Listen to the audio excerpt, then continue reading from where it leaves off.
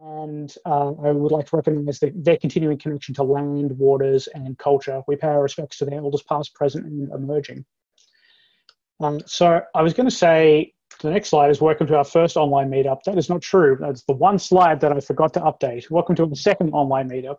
Um, lovely to have you here.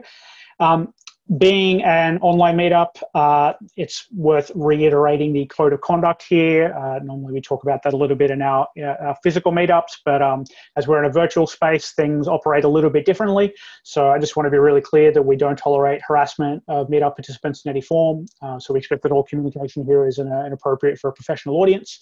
Um, so, things like harassment, sexist, racist, or exclusionary jokes are not appropriate here at DevOps Sydney. And uh, Zoom makes it really easy for me to boot you if you're going to do that sort of thing. So um, I haven't had to use that, and I really hope I don't have to, but it is always there. All right, so tonight, uh, talks wise, we've got four lightning talks. Uh, we've got uh, the intro that we're doing now. Uh, we're going to do lightning talk one and lightning talk two. Uh, we're going to jump into an events and jobs section. Uh, and then we are going to do Lightning Talks 3 and 4. So hope to have it wrapped up uh, by mm, about sort of 50, 55 minutes. Uh, the Lightning Talks for uh, this evening, each are about 5 to 10 minutes. We've got Mani Batra uh, talking about an introduction to a BGP sandbox. Uh, Michael Richardson is talking about expiring certificates and interesting incidents that are emerging from that. I've got John Pollard talking about FileMaker Pro in 2020 uh, it's going to be really interesting to, to get an insight into how the, the other people uh, not in our industry actually do stuff on a day-to-day basis. Um, and then we've got Davin Benfield as well. Uh, hopefully he's going to join at some point. In this case, we just cut him at the end, but we'll see how we go. Uh, he's going to be talking about uh, DevOps for managers. So now, quick show of hands, if I can go unmute everybody. Um, who here is a very good, Tom. You actually show you, showed your hands. I should have probably said the question before that, though. Um, who here is a first timer tonight? I am. Excellent. There's a bunch of folks. It doesn't work if you don't have your video on. Okay, and awesome. Also, like, oh, me simply. Yep, fantastic. Oh, we've got some new people jumping in as well while we're doing this. Lovely. And um, do we have anybody from out of state? Anybody that isn't um, isn't in New South Wales joining us tonight? Hi, Lindsay. It's Tobias Brown here. I'm dialing in from Canberra. Michael Excellent. Richardson used to work at the DTA where I work, and um, very interested to hear how he's going. Well, buckle up because you're going to see us talk in just a moment. So Canberra, I'm not sure if Canberra necessarily like counts as out of state. It's sort of an enclave within New South Wales, but we'll give that to you. Anybody further afield than than than ACT?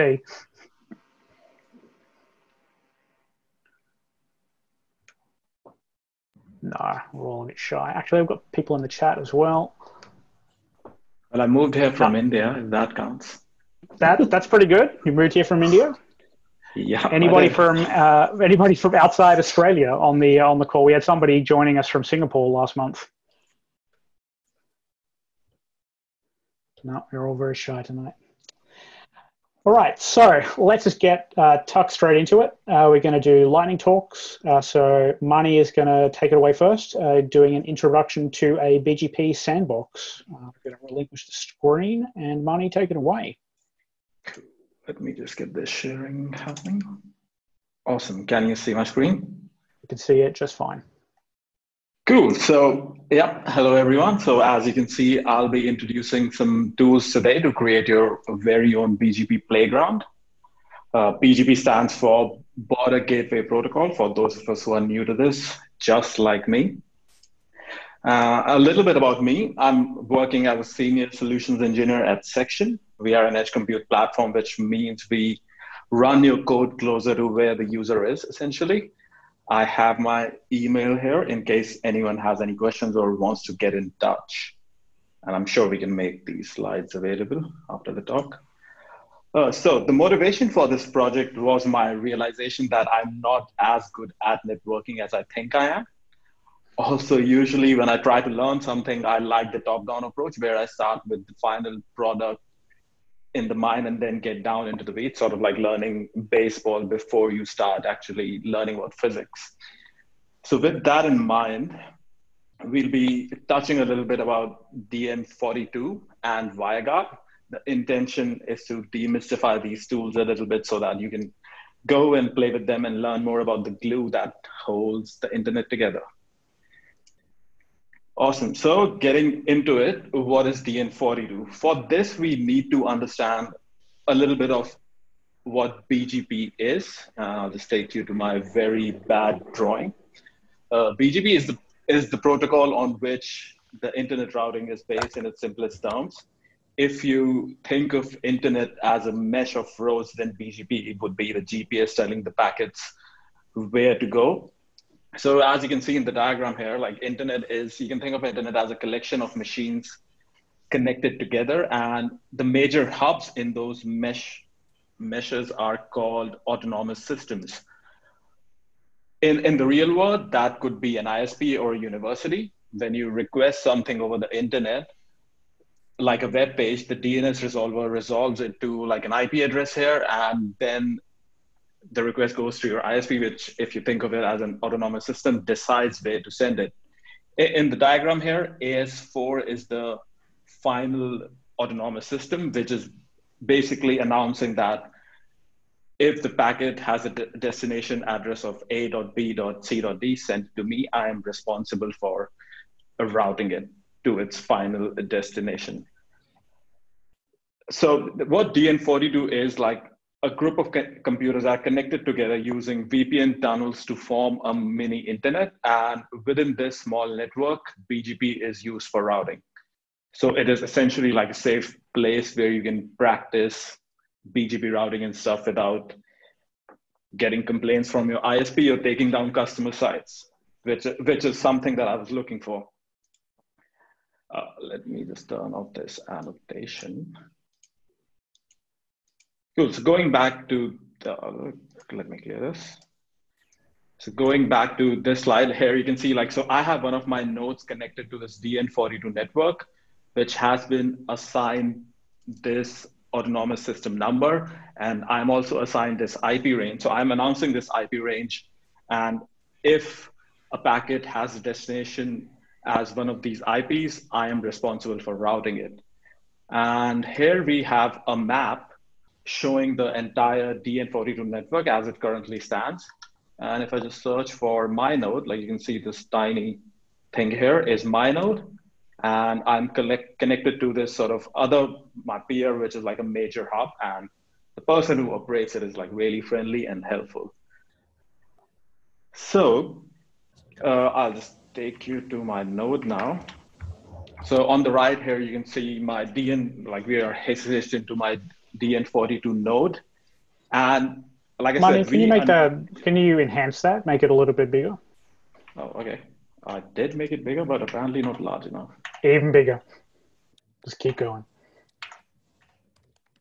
Yeah, that's looking a bit better. Thank you. Let me make this side also bigger because. Cool. So, okay, so like I said, we I am this node is connected to the DN42 network and is announcing that I am responsible for that IP range. For that, we run a process called bird. Uh, here we are in the bird command line, and if we want to see what routes we routes we know about, here they are. So on the left, you can see if we are sending a packet belonging to this IP range, It'll go via this interface, which we'll touch upon a little later. And this AS number is responsible for the IP range mentioned here. And again, I do understand this is like a very high level of bird, but I have left some links in my slides, which it is not as hard as you think. Like I, I was the, under the impression that there's something magical happening, but it is just simple, straightforward programming and very good documentation. Highly recommend checking it out. So going uh, to the next slide. So this is like our initial architecture. On the right, we have the DN42 network. And I had the Linode server and a computer that we called home computer. after my machine joined the DN42 network, it became part, it became one of the autonomous systems in the network. And yeah, so like I was a part of the DN42 network. And as you as you may remember that I mentioned that DN42 is a network that is made of VPN tunnels. So next we'll be learning a little bit about that. So the technology behind those VPN tunnels is called WireGuard, and which can which has basically combined VPN tunnels with cryptography. It makes setting up VPN tunnels extremely easy, so much so that it has been included in the Linux kernel version 5.6 in, in March of this year, actually. So very, it just achieved 1.0 and was released with the Linux kernel version 5.6. So it is pretty easy. And next we will try and set up. So going back to this diagram, we'll try to connect our home computer to our instance that is running on DN42 using a VPN tunnel. And hopefully nothing breaks like it didn't yesterday. So I'll just try and draw what I'm trying to achieve. So like we'll, oh, okay, that did not work. Hmm, for some reason I can't draw.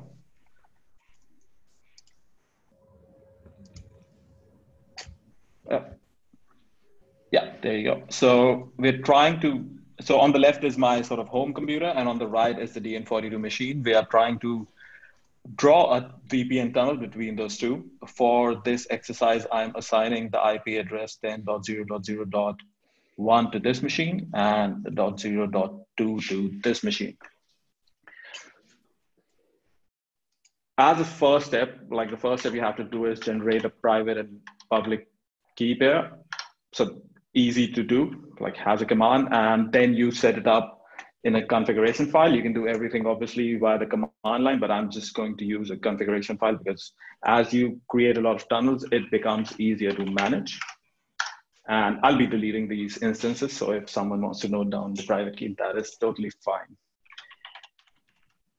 So I have the configuration files belonging to both the machines here, and I'll just do a little bit of annotation it works this time around. Yep. So what will basically happen is like on the left, we have this private key, which will be assigned to this interface. And this public key of the peer belongs to this machine. And the private key on the right will be assigned to the interface on the same machine. And this public key belongs to this machine. So essentially, you are using public key, public and private keys as a method of authentication. And we'll be listening on the UDP port 51825 for the WireGuard protocol.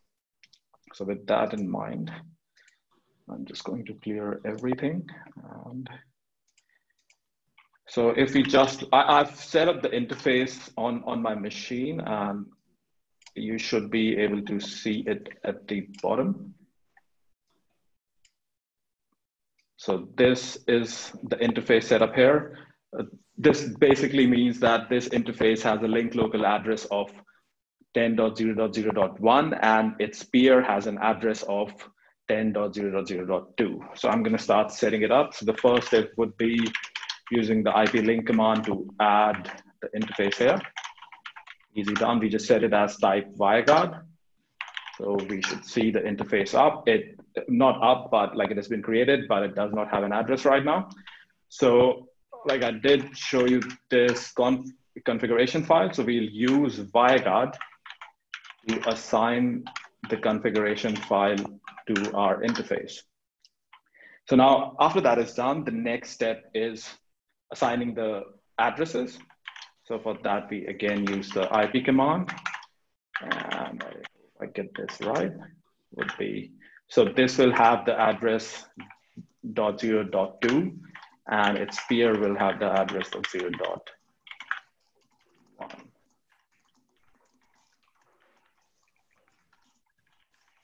Cool. So now our interface has been set up, but it is its mode is still down. So what we'll do next is set it up.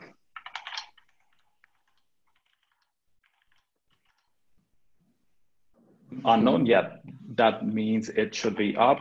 And let us look at the status. So right now you can see the interface is showing up on both the sides. Like here, I obviously have like multiple interfaces because I'm connected to other machines too. So here you're seeing the last handshake happened 18 hours ago, which basically means nothing is happening right now. Another way of checking that is just doing a TCP dump on the interface we just created, like nothing is happening again.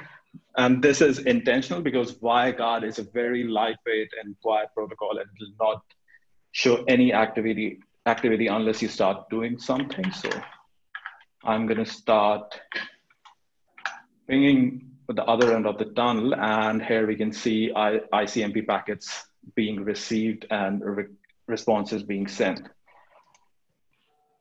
So yeah, so yeah, that, that was, yeah, like our tunnel has been set up and it is, it is, I think it's a very cool piece of technology, so much so that there's a company called Tailscale, which I am not affiliated to in any way, but I find their UX really awesome. So they have set up a company which allows creating making private networks really really easy and it is free for up to 100 devices so i would really encourage everyone to go and try it out so just to reiterate uh, what we saw today was like a little bit of the dn42 network which is a mini internet for using bgp and WireGuard, which is the backbone on which dn42 is built and you can also think of WireGuard as transit cables between various internet exchanges.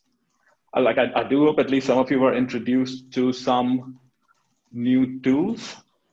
And if there are any questions or comments, I'm happy to take them. And again, here is my contact information if you want to get in touch. We got a minute or two. Does anybody have any questions for Mani? If so, feel free to unmute and ask away.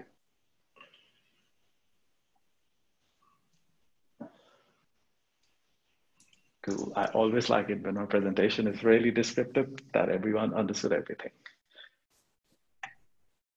So I was just going to ask, uh, so you've set up uh, your connection to this DN42 network yeah. um, to learn about BGP. What what experiments or what, what kind of tests have you run there or discovered, or is it just yeah. learning about how BGP works generally?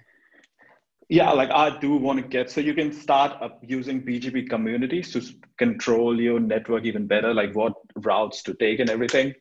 And another thing that I personally did was set up like my own DNS resolver on my DN42 instance so that I can access that network from my local home machine, which involved playing with a DNS resolver called Unbound and playing with IP tables, which was a whole lot of fun.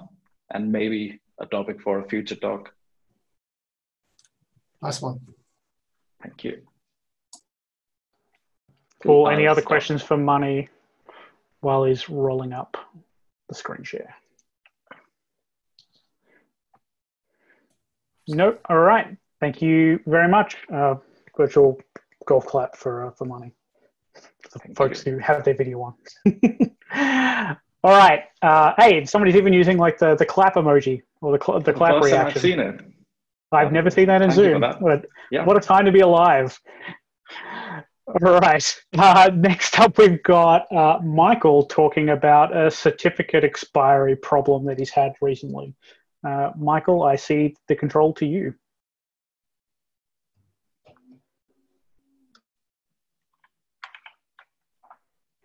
Alrighty, let me know if you can hear me and if you can also see my screen.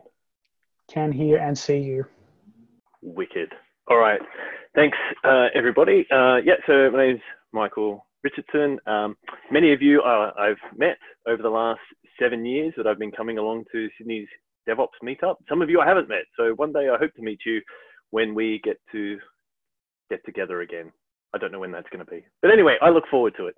Uh, anyway, thank you very much for having me.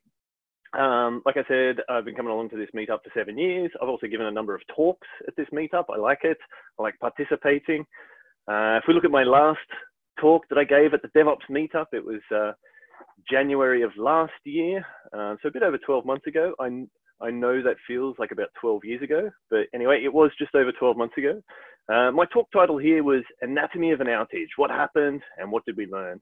Like I said, many of you weren't there for it, and if you were there for it, you probably forgot about it, but here's the summary. It was a story about an expired certificate for a non-critical system that then kick-started a sequence of events that absolutely destroyed everything. And yes, that was 12 months ago. Um, very traumatic, dramatic, brings back both painful um, but also comical memories. Uh, every time I think of it, I also then think of like one of the greatest tweets I've ever seen. And I look for any opportunity to share this again. So here it is again DevOps Borat back in 2011 telling us to make an error is human, uh, but to propagate it everywhere uh, in an automatic way is to be a DevOps. And that's what we're all here for to push out errors everywhere, isn't it? Mm, Lindsay's shaking his head. Some people are nodding. I'm not quite sure. Anyway, 12 months has passed. so many things have changed. I've moved on. I don't work for that organization anymore, but it wasn't a result of this incident. I'm, I'm happy to say. Uh, I now work at SBS. Lots of things I love about working at SBS. You know what? One of the things I really love about SBS is I don't have to spend about 10 minutes trying to describe to people what SBS does. It's instantly recognizable. People know what it does. They go, cool. That's, uh, I like reading SBS news. It's nice and independent. I like SBS on demand. Um, Yes, so the team I'm in, we look after a lot of these things. If uh, SBS On Demand is not working, feel free to reach out to me. I'll, I'll just give it a, a reboot if it's got any issues. Let's talk about a recent issue.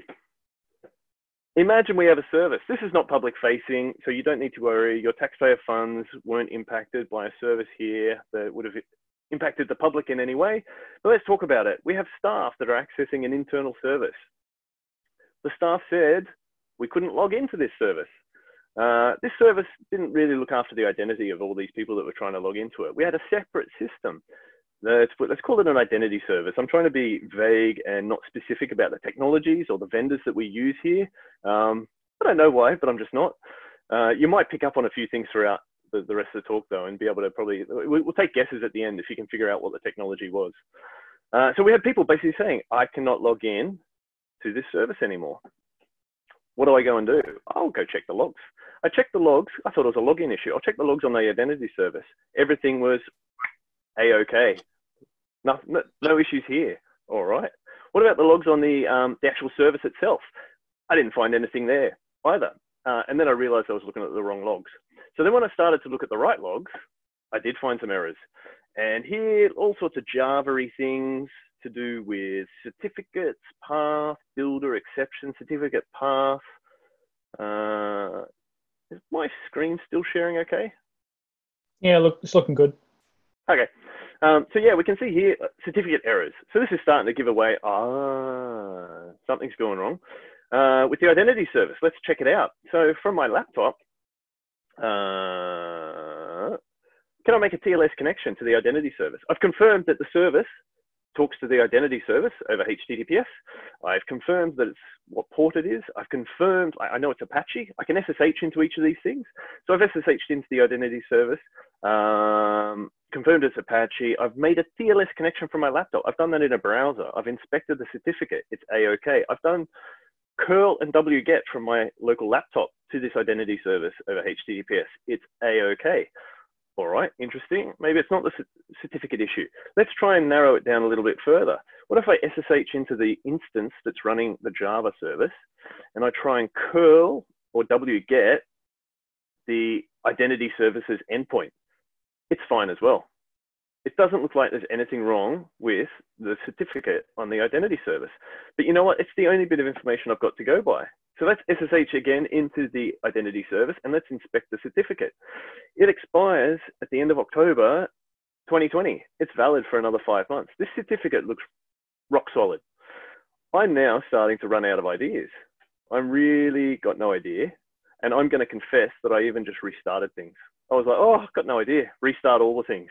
That's what, that's what a true SRE or DevOps does. When in doubt, restart. Um, but then when I was looking at the Apache configuration files, I noticed a few more things. I noticed, oh, that's right, certificates. There's intermediate certificates as well, aren't there? Oh, let's just have a look at them because I've got nothing else to go by. So let's look at, there were two intermediate certificates. If I look at the first one, we can see that it was valid from 2018 until 2030. I reckon that's okay. We're in 2020. Then I look at the second certificate. Oh, it's expired. Well, this is starting to become a little bit interesting. So this was a certificate that was minted in 2000 and it expired in May 30th, 2020. Uh, I wonder what's going on here.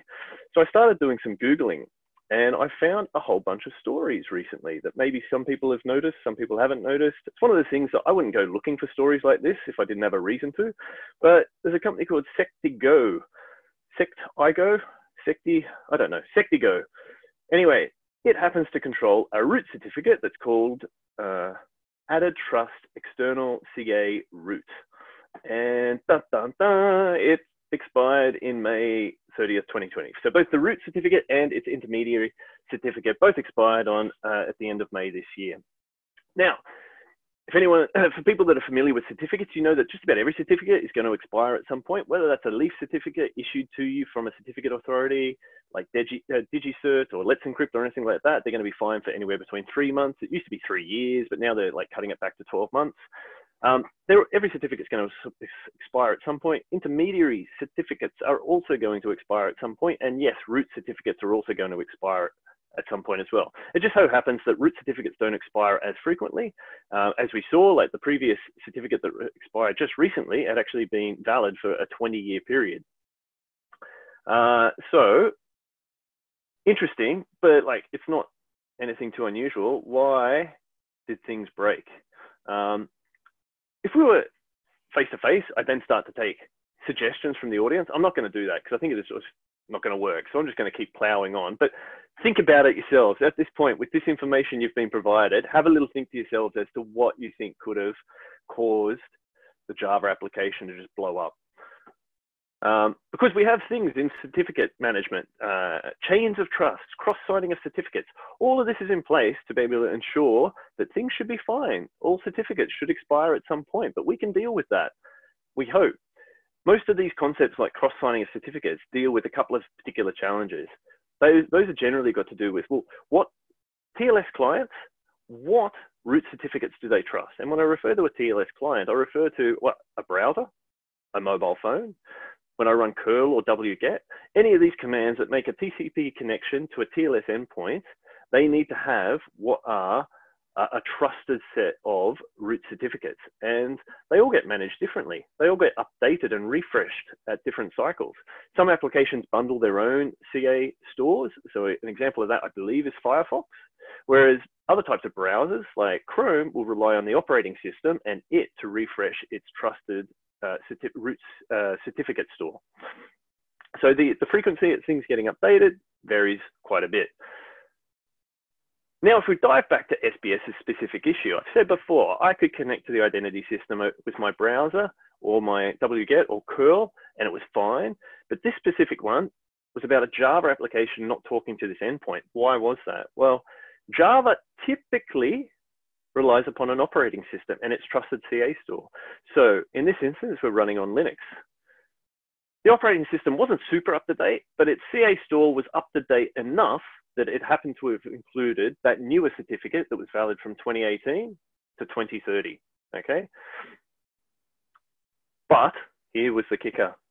Our legacy Java enterprise application came bundled with its own version, with its own Java JRE, its own Java runtime. And this specific Java runtime included its own CA store or certificates, trusted root certificates that it would use to trust things. And if you can see there, there's the file. I've not revealed the entire path, but it's basically, uh, you can see it's timestamp, it's 2015. It's got no chance of including the uh, new certificate that was created in 2018, and, but it did have that certificate that was created in 20, uh, 2000 that expired this year. So you can see this Java application was left in a position where it basically couldn't trust the valid certificate that was on our identity system. A couple of extra things that um, I think are a little bit confusing. I'd like to understand a little bit better, but I sort of look at the two certificate, the two intermediate certificates that were provided by our certificate, certificate authority when they issued this certificate for us. And there's just an overlap period of 18 months between what is essentially an old certificate, uh, an old root certificate to support legacy systems that don't get refreshed very frequently, and the newer C, uh, CA certificate for, for newer clients. It only overlap by 18 months. That sort of feels, I don't know. I've not really looked into it, but that feels like a little bit of a short window of overlap. The second issue I think is also problematic. Should certificate authorities be issuing certificates signed by root certificates where that root certificate will expire before that leaf certificate expires? I sort of think no, but again, I don't know this well enough. Like, what are industry best practices here? Because I sort of feel like that's a bit of a pain. Um, now, you could probably argue, like, could all of this have been avoided for SBS? And the answer possibly might have been yeah, you should have been updating the version of Java that was bundled in with your legacy enterprise application. But here's a bit of a bonus surprise that didn't impact, impact us, but impacted a load of other people on the internet. There are certain TLS clients, when they try to make a, a, connection to a certificate, if they're presented with two intermediate certificates, they will attempt to um, validate the first one.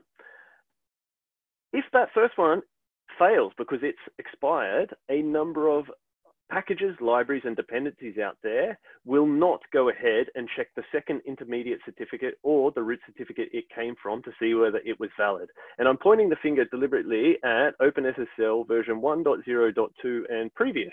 Now you could argue, ah, oh, we should not be using that old version of um, OpenSSL, and you're right, but lots of people still do. So this would have been a total surprise for a lot of people where their application was trusting far newer CA certs, root certs, um, but as soon as it encountered one of those certificates failing, it would not have proceeded to check the other valid certificates in order to trust the certificate being presented by that endpoint. Let's go. I'm about to wrap up. Hopefully this, I'm not, I've, I've paid zero attention to how long I'm talking for, but it's a good question to ask. What are we actually monitoring here? I sort of think like, oh, you know, when, you, when you're managing a service, the basics are, you should be probing that endpoint is your service actually running? Like, is a is, is a simple one like, oh, does it respond? Does it respond with the desired maybe HTTP status code? Does it respond within a certain period of time? There's a bunch of basic things you should sort of check for your service endpoints. You should also check like, is my service does it have a all services should be over an encrypted connection. Let's just make that abundantly clear. Um, and is the certificate valid? And I don't want my monitoring to fail once it expires, I'd like my monitoring to basically tell me, hey, that certificate has got less than 30 days before it expires. That should probably be automatically renewed via Let's Encrypt or similar types of things. But now I'm starting to wonder, as of this week, do we need to start expanding this? Should we, should we be checking things like, well, for any certificates we use for any of our services, do we need to check whether any of the root certificates that this certificate came from are still valid. Are any of those going to be expiring? Because all the certificates are going to expire at some point. Um, this is like maybe we should be starting to monitor this, or for any applications that we manage, do we should we be checking what are the trusted root certificates that this application uses when it makes a TLS connection to a HTTPS endpoint? I'm not doing those last two bullet points, and I I'm going to go out there and say I don't think many people are. Um, and I sort of, I'm not proposing that we all start to go and do this. I'm just saying things break when you least expect it. I think that's probably the end of the talk. Anyway, there you go. Thank you. Happy to take any questions. Not sure I can answer them, but happy to anyway. Awesome. Thanks, Michael. In the uh, interest of keeping things moving, we might uh, we might keep the questions in over in the in the group chat. But uh, round quick round of applause for uh, for Michael for that one. All right, we are going to keep cracking on. Uh, so, events really quickly. Um, we've got the DevOps Enterprise Summit London, which is virtual. So, that's actually happening next week uh, British summertime. Um, so if you're into a DevOps Enterprise Summit, it's sort of big picture DevOps strategy type things, looking at like digital transformation in other organizations with the DevOps bit. So it's sort of nice it all being online and that you can actually attend. And it's sort of kicking off about this time uh, next week. So that's pretty cool. Uh, other than that, we've also got YOW! Data that's happening the week after next as well. Um, so that's uh, about sort of big data, data science. Uh, it's another all online event, which is lovely to see. It's happening over three days, so you can get a bit of a taste there of the, the keynotes and the invited speakers. So if you do anything with, with big data, this is definitely one of the conferences to, to try and get to um, yeah, this year, especially now that they, they're putting it all online. Uh, they've also got Lambda Jam as well, so more for people in the functional programming uh, space. Again, that's happening online as well uh, on uh, the 22nd to the 24th of next month. Uh, but it's always a ripper conference, so definitely worthwhile checking that out if you're interested in the uh, in the functional programming world. other than that, a little bit later this year, we've got Web Directions Code Remote. again, another exclusively online conference. You're probably noticing a trend here. Uh, Web Directions is, is sort of one of the most uh, well-known tech conferences in Australia. Uh, and they are trying something really interesting with their format. So rather than having it as a single day or a single week, they're actually doing a Friday, four Fridays, four consecutive Fridays uh, from 4 p.m. to 7:30 p.m. Um, so, uh, and they're trying to you know do it across multiple time zones as well. So it's sort of interesting to see them innovating a bit on the uh, on the the format there but uh, it's also a little bit cheaper as well this year. Generally, it's a bit of a, a, pricey conference. Obviously, you get a lot for what you what you pay for, but um, yeah, interesting to see them uh, you know trying out new new formats. Uh, they so that's more of the uh, the front end, a little bit on the back end. If you're also in the product space uh, or design, uh, they've got a similar conference that they're kicking off as well afterwards around product management. So pretty interesting as well. All right, that's it for events. Um, I'm going to roll quickly into jobs. So, quick show of hands. Is anybody uh, looking for work at the moment or is looking to fill a position at the place that they currently work at? All right, there's a few folks there. So, what we're going to do, um, uh, we're going to have 30 seconds. Uh, I'm just going to you know, it'll just be first come, first serve, really. Uh, you've got 30 seconds to either pitch yourself or uh, pitch the position that you are trying to fill. I think we had Mick with his hand up there, so I'm going to let him go first. Well, hey all, my name's Mick. Um, I work at Squiz, DevOps lead. I'm going to be on the hunt for one or two people in the next few months, so I want to start talking to people now. Um, it's mostly like infrastructures um, as code, composable infrastructure, CI/CD, um, AWS environment. So please, please give me a yell on the Zoom group chat and we can take it offline. Thanks. Awesome. I noticed that um, VJ over uh, in the chat has put up like his, his virtual hand there. So uh, I'm assuming VJ, you want to uh, you want to talk about a position, or you, you're looking for work at the moment. And you are muted if you are talking, or maybe you just like the hand emoji. I don't know. I'm not one to judge. All right, we'll keep rolling. Uh, next person up. I literally cannot see anybody or do anything, so we're just going to muddle our way through it. Um, I can go if you want. Go for it. Right, yeah. Hey guys, um, I'm Stefan. So I live in Sydney. Uh, just yeah, seeing what's out there. I have like a DevOps background, so like uh, GCP for the last three four years, and using AWS with Cloudflare, just running like WordPress websites and static websites. Um, yeah, if you have any like job opportunities going, I'm keen to see what's out there. I have heard of Squiz as well, by the way, um, Mick. So maybe we can take that offline. Um, yeah, I graduated at UTS uh, IT in 2017, and I've been going to this meetup for like the last few years. And I gave a talk last year, but I'm giving a talk next month. So yeah, tune in for that. It's on WordPress security, by the way. Cool. Awesome. You're, you're giving a little bit of a preview of the preview that I'm going to give at the end of the meetup, but thanks, Stefan. All right. Anybody else got any positions that they're trying to fill? Tom. Hey, um, yeah, I've just moved up to Sydney last two weeks. Um, sorry, it's my dog. Um, looking for work, background, AWS, Kubernetes kind of stuff. Mostly infrastructure as code and um, infrastructure ops kind of work. So if anyone's got anything, let me know. I'll talk to you, Tom, offline. All right. Anybody else want to go before we move into the last couple of lightning talks?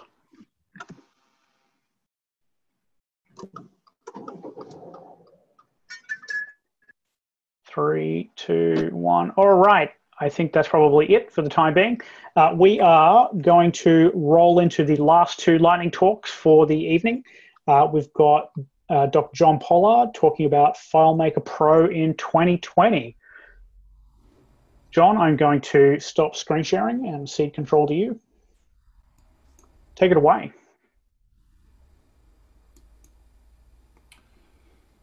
So are we good here? Are you seeing my screen?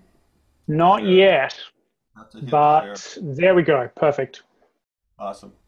So for those of you who know, don't know me, which is probably everyone, my name is Dr. John Pollard. I'm an author.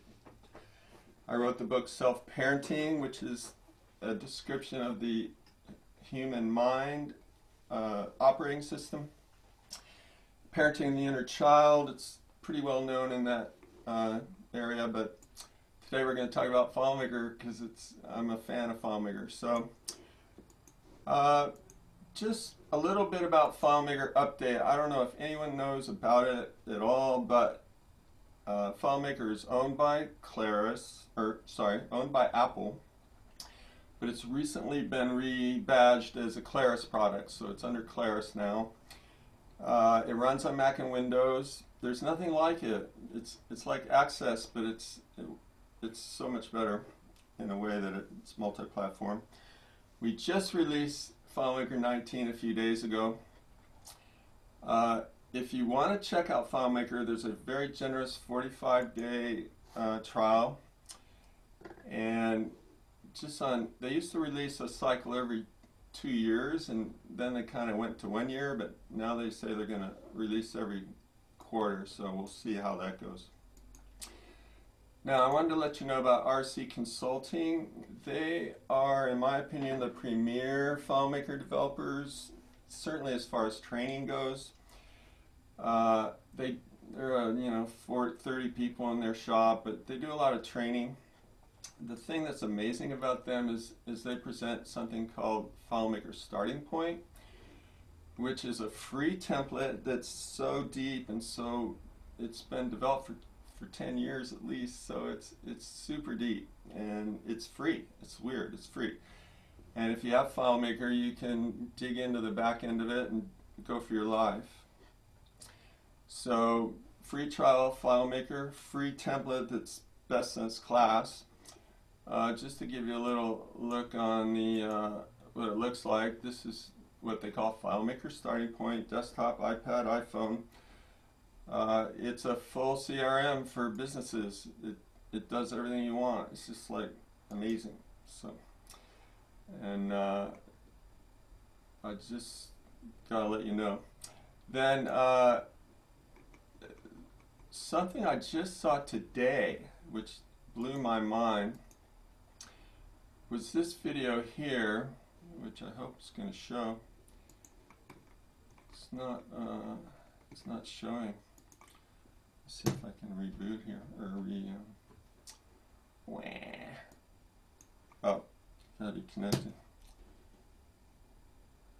Alright, this isn't pretty, but, uh, and I do have links on all these sites.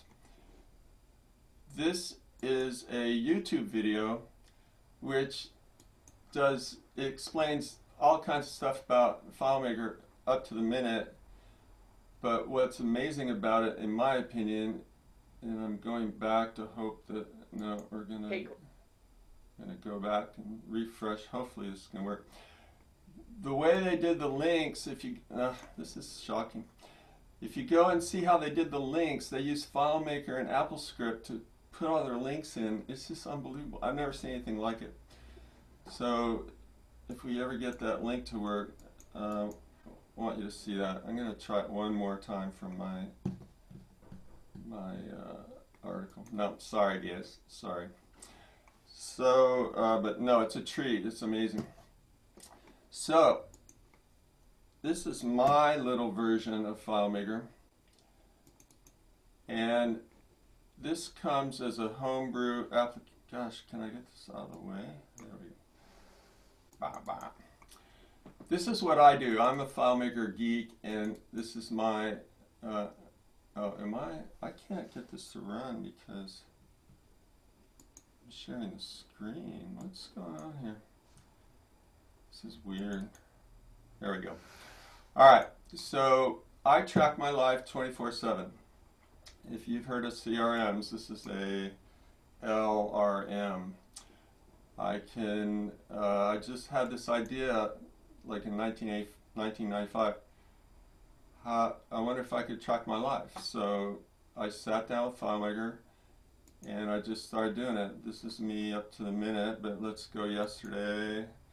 That's 24-7, yes, 24 hours yesterday, yesterday, yesterday, yesterday. So what's cool about this template is the design of it. Basically, this little screen right here, I can track any human activity in clicks. So start date, end date, start time, end time. If I want a person, I go to that person. If I want a place, I go to that place. Uh, if it's a something that costs money, I go to pennies and see if this works. I got all my pennies here. That's my checkbook right there. Probably don't want to look at that too long. But basically, then let's let's just do a new one. Let's just show you how it works. So find today's da da da here. So new relational. Is it a family, social, or work? Let's call it professional. Am I sending or receiving? I'm sending. Is it a person, place, or both? It's let's call it a place right now. Now we're going to call this a new place because you guys are the DevOps. So I'll just put DevOps here. Then I could fill in your details, blah blah. Oh, gotta have a ah. This is, believe me, this is my home version here, so this is not anything in the ready for, what are you guys? I guess I'd call you professional. And then we'll just say computer, so. Um, some might say that we're actually religious, but continue. All right, that could be. We got a spot for that too. Eh, why isn't this hitting continue? All right, so here's my demo messing up.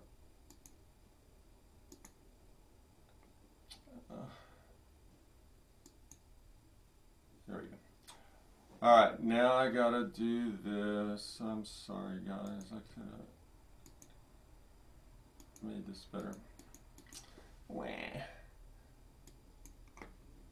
I don't. I have no idea why this isn't working. Anyway, so point being now, if it's a call, an email, a meet. Let's say I we're gonna meet to discuss our relationship issues, or in this case, FileMaker. So if it's a personal relationship, a personal activity, it's either physical, emotional, or mental. Let's say it's mental, then it's I here's one self-parent, or I read, or I log. So all these uh, little drop boxes are related to the function of the of the, of the situation that you're in.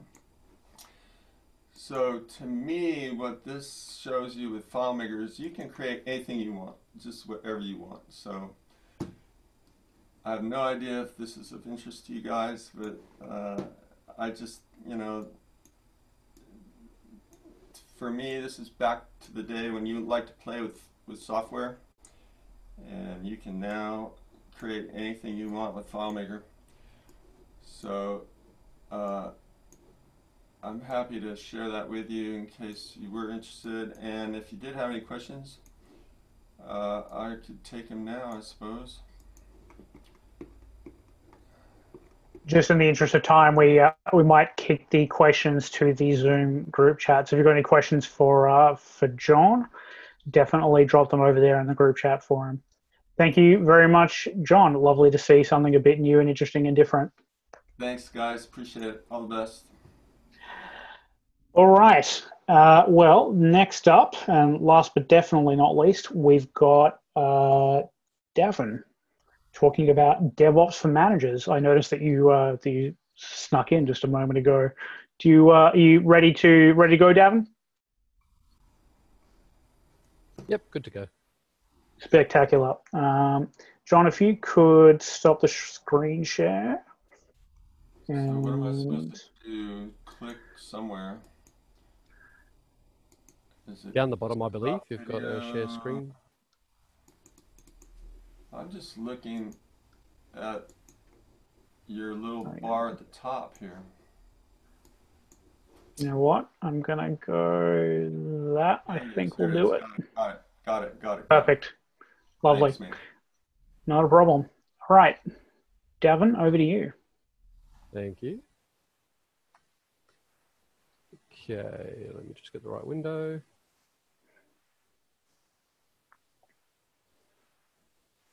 Sharing.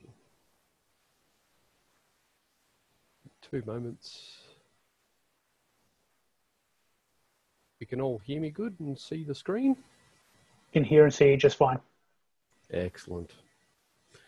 So, um, this quick little lightning talk. Uh, for those who don't, uh, is, uh, I have presented before. I did a, a lightning talk on GCP's deployment manager quite a few months ago now, uh, sometime I think mid last year.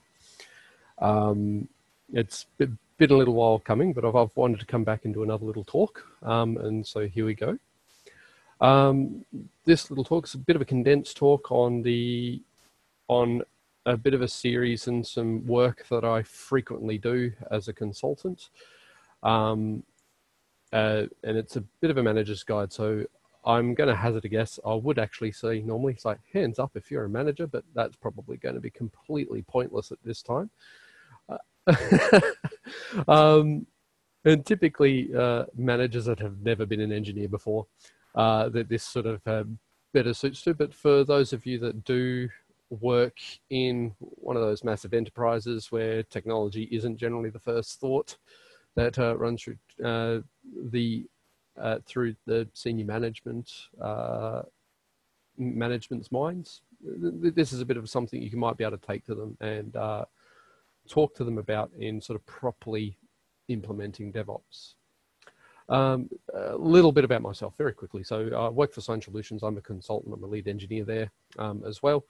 Uh, sort of traveled quite a fair bit around Australia, um, doing the entire uh, a digital nomad thing. I own a company called Ceph IT, which sort of helps. Uh, it's a bit of a so, so bit more of a social experiment where I um, work with small businesses and uh, uh, improve their technology. Uh, no end. Uh, I used to be a mechanic. I'm better with my language now. So I, I used to swear quite a fair bit um, purely because I grew up, grew up as a bit of a blue collar uh, worker there. Um, and me and my family, we all do a fair bit of taekwondo uh, and various other martial arts. So a bit of a martial arts family. It's good fun. Um, so straight into it, we'll go tip number one. And this is, I've decided to divide this up into five tips. I have very, very recently, like I have basically pulled this together in the past hour. So um, I don't have the transitions as I'd like them as of yet. So um, the very first thing I think would be very, very important for most managers to have a really good think about is just Um, before you yeah. go on, are you sharing your thing full screen at the moment?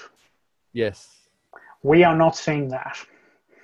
Ah, uh, what do you see? We're- Uh, We are only seeing your web browser window. You might need to redo the Zoom and actually share your entire desktop. there we go. Let me do that then. Uh, Not a problem. Thanks, Brent, for calling that out. Thank you.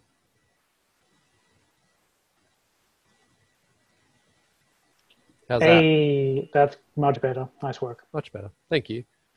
Um, I'll refrain from going back. So, uh, first up, I think it's incredibly important to understand and like if you ask many non-technical people or people managers and stuff trying to implement this in their workplace what devops is i guarantee you you're going to get a different answer every single time. There is no one answer to this. Um, and devops done right is a bit of a misnomer. It is certainly probably going to look quite different for any uh, business uh, that like you- you're definitely not going to have a bank looking a lot like the way uh, Google or Amazon do their flavor of DevOps. And um, there is a wonderful resource. If you Google DevOps topologies, you'll find a really good team organization, um, uh, different ways you can organize teams, and uh, certainly keep an eye out for anti patterns that they also post up on there to sort of keep. Um, uh, so, so, you can sort of have a look to make sure you're not falling into any bad habits or bad patterns. Um, ask why. Ask why lots. Why you are doing this. Why do you think this is good for you? Um, why certainly is not asked enough by anyone, I don't think. And this, um, may annoy some people, but I think most people are probably mature enough to kind of go, you know what, if, if they don't know why, let's go find out. Um, tip number two figure out your business goals and purpose. This is um, sort of stepping up the ladder or up the um, uh, the the tree or the lineage of DevOps a bit. Um, if uh, if you've not heard of Lean or um, uh, Dr. Deming's work with Toyota and the like, they've basically, uh, from a business point of view and a manufacturing point of view, this is a the granddaddy of uh, DevOps. And I find a lot of the problems when I go into consult any business, generally the problems that come in DevOps are there. The automation is up and running, but it's automating away in the wrong direction, or as um, uh, someone up, brought up before, uh, you're basically using DevOps to propagate your error across your entire uh, workload. So working this out really does uh, help make sure that you are traveling in the right direction, uh, particularly when you've got enough uh, a, good amount of velocity on the automation you've put in place. Um, don't make speed your goal. Speed is a terrible, terrible goal to have for DevOps.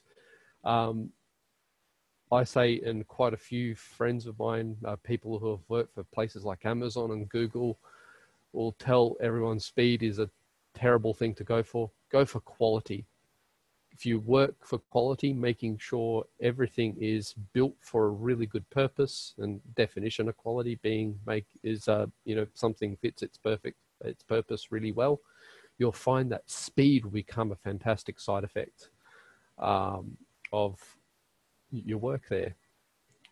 The third tip: don't change too much at once. Be disciplined in what you have already. Um, more than enough times, uh, and I'd imagine more than enough people here, they've uh, experienced a really roundabout or terrible way of performing a piece of work. Um, whether it's got a really obtuse uh, uh, procedure to it, whether you've got to touch 31 different systems to be able to, you know, uh, put together a customer profile, be disciplined on following that procedure as well and as closely as possible because uh, this will sort of limit the amount of variables that you get in measuring and putting together a bit of a case as to why something needs to change. Um, we are not after speed yet. I reiterated that again because if I asked more than enough managers or you know uh, stakeholders why are you doing devops why are you doing agile and almost every single one of them will go oh we want to do something faster and it's it's not the right way to go about it there, there's things you can do fast but we've got to uh, sort out some other things first uh, don't just throw out the old unless it's itil itil's terrible get rid of it um, uh, I do just a little bit. Uh, ITIL's better than nothing. It is a procedural. Um, it it works to an extent. If you do have ITIL in place, follow it uh, religiously as much as you can, but then understand its foibles and understand where it falls short, and then work to change where it falls short. Um, change iteratively. Uh, iteratively. Don't change too much at once just change things here and there. Try your best. You're probably not going to change uh, only one thing at a time very often, but try and sort of keep the scope limited. Change a few things, and make sure that that one's that that what you are changing is forever sort of pushing you towards your business goals that you've uh, that we put together in tip two. Um, embrace change. Change is great. Um, change is going to uh, beat status quo every time. Um, some things probably don't need to change, but certainly change has got to happen somewhere. Otherwise, uh, you're just not evolving at a pace that's going to keep you in a market for a long time. Um, tip number four, and this sort of goes into the previous tip quite a fair bit measure everything. Measure something before you change it, measure it after you change it, and measure all the bits and pieces on the procedure during your change, how long it took you to do something, uh, how long does it take to deploy something, and make sure you can always put that into a story uh, to sort of, um, I, can, I can say, uh, justify your change back to the business. A business loves to hear good stories on how you've changed something and now something's taken uh, something that took you a day and a half to do before now only takes you 45 minutes. Um, and it's surprising some of the smaller changes that I've put in place in various businesses do have a drastic effect. Um, and it really helps to uh, put that into a story to be able to tell your stakeholders and tell your managers and um, tell your superiors and even your um, uh, people that you do manage as well. Uh, get them to embrace those changes as well. Um, some people may not like change a great deal, but you know you kind of do have to uh, work through and make sure you're justifying it, uh, justifying your change to those sorts of people. Um, we'll head on to the next one. So uh, the last one basically when you do measure your new state, uh, say after you've changed something, compare the results with the projection towards the goals that you're basically putting together in step two. So when you change something, make sure it's changing towards something and always make that story uh, relate to the goals that uh, should have been set in tip number two. Um, tip number five, and the last one, uh, I'll try and keep this a bit, uh, try to keep this one quite short for tonight. So, um, quality costs money. Expect to invest a lot. Um, more than enough. I've heard that uh, various businesses want to implement DevOps or Agile uh, to save money. This is going to lead a great deal of heartbreak for so many people. Um, generally, uh, it's not the thing they should be looking for. Um, we should be aiming for quality, uh, improving the quality of a service, improving the quality of a piece of code that you're writing, improving the, the quality of a procedure that you that you might actually be uh, performing, or even and even outside of the IT world, it should be say your customer service people should have a procedure that they follow, and they could have ways to improve the quality of that service that they provide as well. And in improving the quality, you should be reducing waste. When you aim for quality and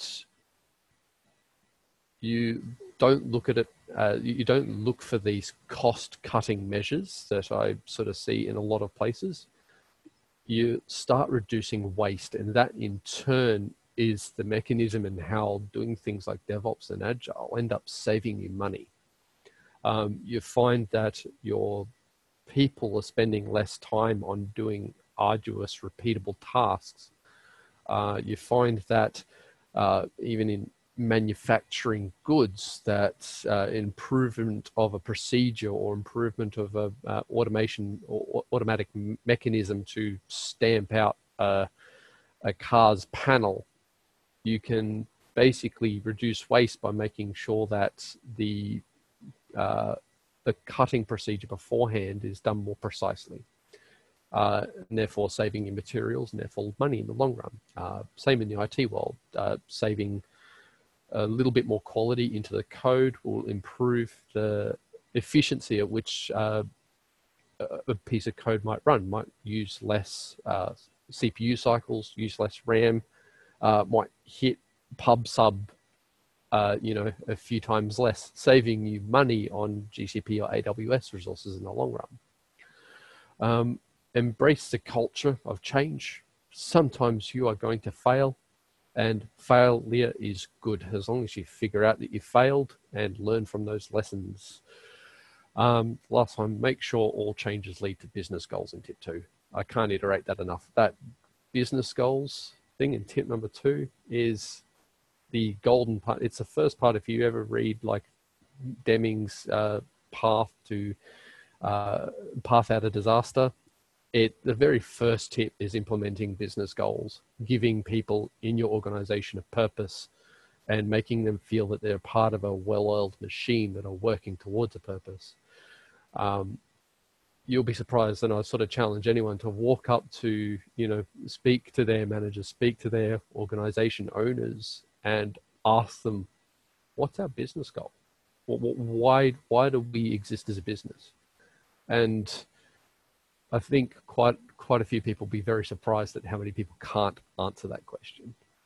Um, and it's a very important one, um, I feel, is it sort of, it, it makes DevOps and everything work so much better. Um, and that's it. We're done.